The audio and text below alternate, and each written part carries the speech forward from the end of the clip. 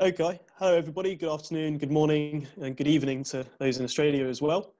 Um, thanks to the organisers for allowing this virtual Nickel Symposium to go ahead for more. Um, so my name is Will, I'm a PhD student at Cardiff University, and my talk is titled Up Close and Personal with the Merensky Reef. I'm going to be sharing a few high resolution element maps of the Merensky Reef from several localities in the western lobe of the Bushveld complex. And the format of my talk, what we're going to do is I'm going to highlight some of the key observations that we've made in these samples from the base to the top of the Merensky cyclic unit uh, and talk about uh, the kinds of interpretations that we've made from these observations uh, and what this may have implications for for the formation of the Merensky Reef. Um, so there's not many in the crowd that will need an introduction to the Bushveld complex. So the, uh, I'll just remove my face. So the diagram to the left shows the different lobes of the Bushveld complex, and all the samples we've acquired are from the western lobe, from the Northam Impala, Rustenburg, and Karee mines. The hand specimen to the left is a specimen collected from the Rustenburg mine. It is around 26 centimeters in length, around one centimeter in thickness, and it nicely shows the different lithotypes of the Merensky cyclic unit. So from base to the top, I'll try and get a laser pointer actually. All right, options. Oh, I can't see it. Oh, well. Anyway, from the base to the top, we have the footwall norite or olivine norite in the case of Northam, overlain by the footwall anorthosite, the lower chromitite, the central pyroxenite, which is in some cases pegmatoidal, the upper chromitite, and the hanging wall pyroxenite. What's interesting about this particular sample is we see a dramatic change in the thickness of the lower chromatite, uh, where it appears to thicken up against what seems to be a, a pothole-like structure penetrating downward into the footwall. And we'll have a closer look at that in a moment. So the first images I want to share, these are micro XRF images from the footwall olivine norite at Northam, Consists of plagioclase with olivine oikocrysts and uh, orthopyroxene overgrowths on these olivine oikocrysts. Uh, chromite is very rare, but it is present in the footwall olivine norite at Northam. It's not present in the norites at Rustenburg and Impala and other maps that we've looked at. The sulfide component, which is what we're seeing in light green there, is distributed throughout the plagioclase component. What I really want to highlight in this particular map is these orthopyroxene overgrowths around these olivine oikocrysts. And if we look a bit closer, what we may see is that the orthopyroxene overgrowths are slightly thicker on the upper margins of these olivine oikocrysts. So I'll circle a few as I speak now, and there's an enhanced image to the right there. And what we believe this may indicate is that uh, we've had some sort of reactive porous flow, so downward reactive porous flow of a silica-rich melt, preferably interacting with the upper margins of these olivine oikocrysts. And this is something that we've noticed in not just this sample, but also other samples from Northam as well. So moving to the next observation is the compositions of plagioclase, uh, more specifically in the footwall anorthosite and the olivine norites and norites. Um, so particularly at Northam Impala, we see subtle reverse oscillatory zoning in the element map. So we can see a slightly more albitic core and a slightly more anorthitic rim of these samples. Um, so we also, we also acquired a spectrum through the footwall uh, norite and the, and the footwall anorthosite at the Rustenburg sample to see if there was sort of a, a wholesale change in calcium as we approach the reef contact. Uh, and what we saw from the spectrum is that there was actually no complete change in calcium across the footwall, uh, which indicates that actually this subtle reverse oscillatory zoning is perhaps more in keeping with the leaching of alkalis, perhaps by interaction with fluid, rather than melting, since a lot of models currently indicate the anorthite may be a rest restite of melting, which this data may not indicate that.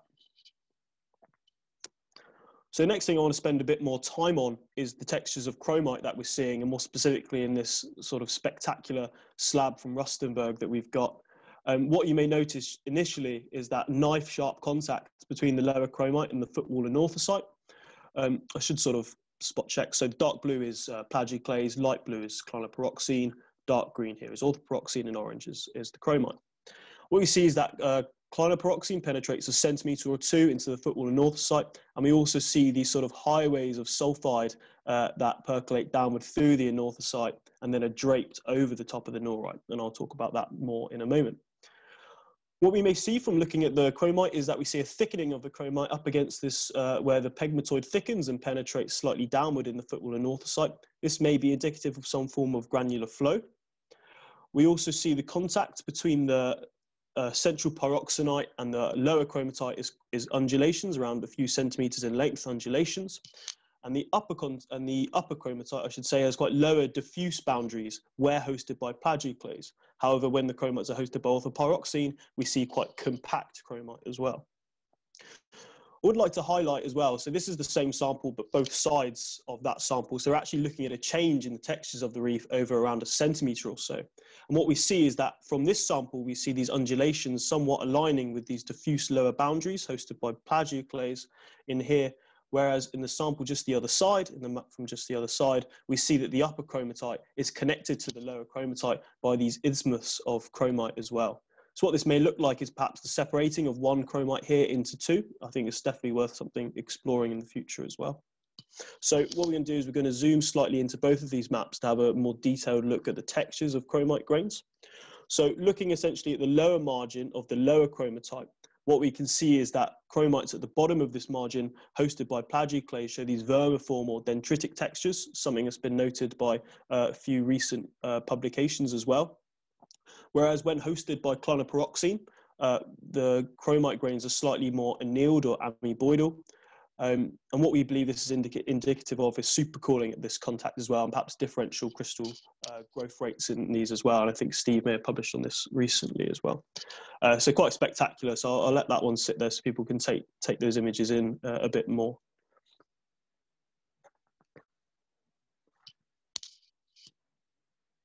Okay, great. And another thing we've started to notice is, uh, is the amount of phlogopite that we're starting to see in these rocks. So these element maps are maps from uh, the olivine norite at Northam. Uh, we, this is one of the olivine orthopyroxene crystals that we saw in the first slide. Um, so what we're seeing is that phlogopite does seem to align parallel with one another around the margins of these olivine orthopyroxene overgrowths, as well as those that are hosted in the plagioclase component of these maps as well. And they appear to form some spatial relationship with sulfide, which also appears to dust the outlines of these olivine orthopyroxene overgrowths as well. This is on a, a, grain scale, but on a larger scale of the element maps, we actually see that phlogopite shows this alignment uh, um, 10 to tens of centimeters as well. So as we can see, the phlogopite is sort of aligning uh, northeast to southwest of this particular sample. It is particularly concentrated around the margins of these olivine orthopyroxene crystals, but we do see that same alignment in the plagioclase component of the footwall norites as well. Um, this perhaps is indicative of direction of uh, flow of residual melt or fluid, perhaps, uh, in these rocks um, I've been interacting with the olivine norites. So now we're going to zoom in. This is a little yellow box here, and we're going to zoom into an element map there. So what we're looking at now is what we believe may represent melt inclusions. So firstly, this is the, uh, the box we've just zoomed into. So this is what we believe is a melt inclusion hosted in olivine in the footwall olivine norite at Northam.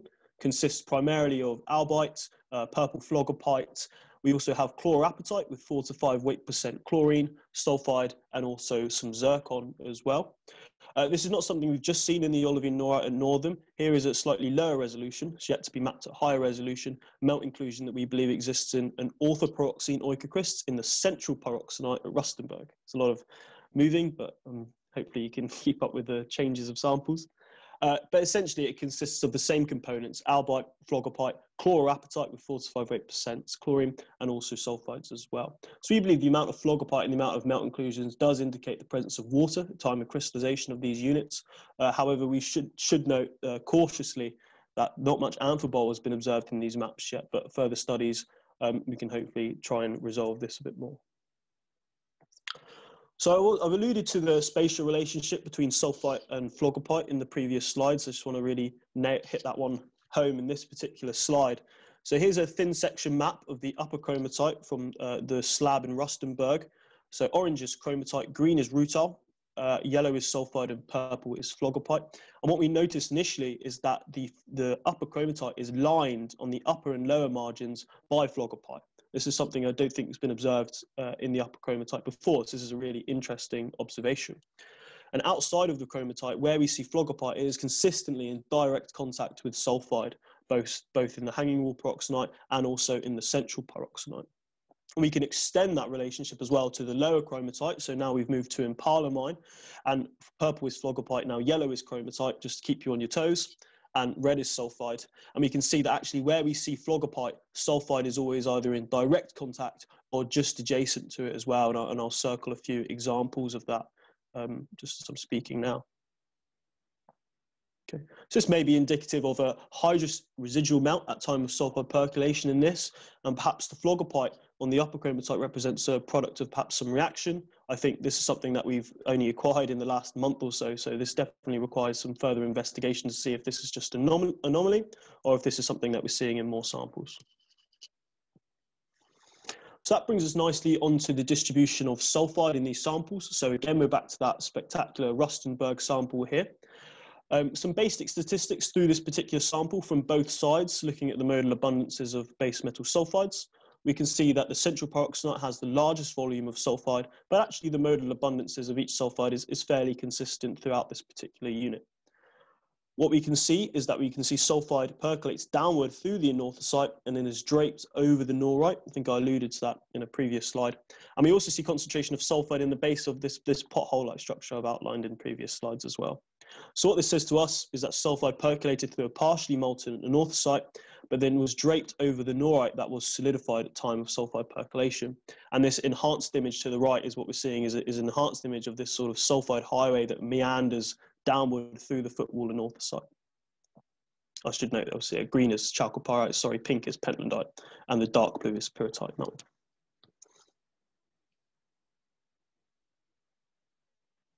Okay, so on the final observation, I'm going to outline to people as well is the uh, distribution of platinum platinum group minerals in the Rustenburg sample as well. So these white ellipses outline different platinum PGM identified in this particular sample. And as we can see, they're, they're scattered throughout, but they are most concentrated in, in the reef itself. Um, where we do see platinum PGM, it is either always in direct contact or just adjacent uh, to base metal sulfides as well.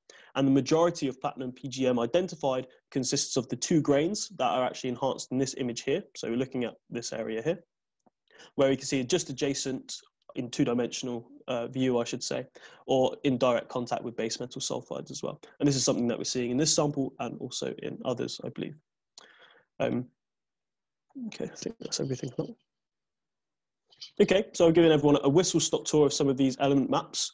Um, I just want to sort of go over some of the observations that we've made and, and the ideas of, of what this may mean, hopefully to spark some debate with everybody. Um, so firstly, I shared the orthopyroxene jackets on the upper margin of olivine, and we perhaps thought this was indicative of downward reactive porous flow of a silica-rich melt. Uh, we saw there's no overall calcium change in the footwall, uh, but we do see subtle reverse oscillatory zoning in plagioclase, which we've ascribed to the leaching of alkalis over wholesale melting of this unit. Uh, we saw the chromite textures, those vermiform or dendritic chromites at the base, which we believe is indicative of supercooling or in situ growth. Uh, we saw the thickening of the chromite against the lee side of that pothole-like structure, which we've ascribed to some perhaps some sort of granular flow. And we also saw those that undulatory contact and, and also those chromite tree-like structures as well, which maybe is indicative of the splitting of one layer. I'm not too sure. Uh, saw phlogopite and melt, melt inclusions, I say not melting inclusions. Uh, fluid, perhaps indicative of fluid-rich intercumulus melt or reaction product perhaps for that phlogopite on the chromite, but it hopefully it does indicate the presence of water at the time of chromite crystallization. Perhaps it would be worth looking at water content in pyroxene or something like this. Uh, we saw those sulfide highways uh, percolating, meandering downward through the anorthosite and then being draped over a solidified norite. And then we saw the occurrence of platinum PGM at the margins of base metal sulfides, which perhaps uh, where they've been spatially removed from the sulfides, it could be perhaps resorption of the sulfides themselves or perhaps site mobilization of a PGE-rich melt. I think it's definitely worth exploring further. So this has been uh, more maps, there's more detail, more maps in a publication that should be coming out fairly soon. So hopefully I'll share that uh, with everybody via the MagSul email uh, soon. So thank you.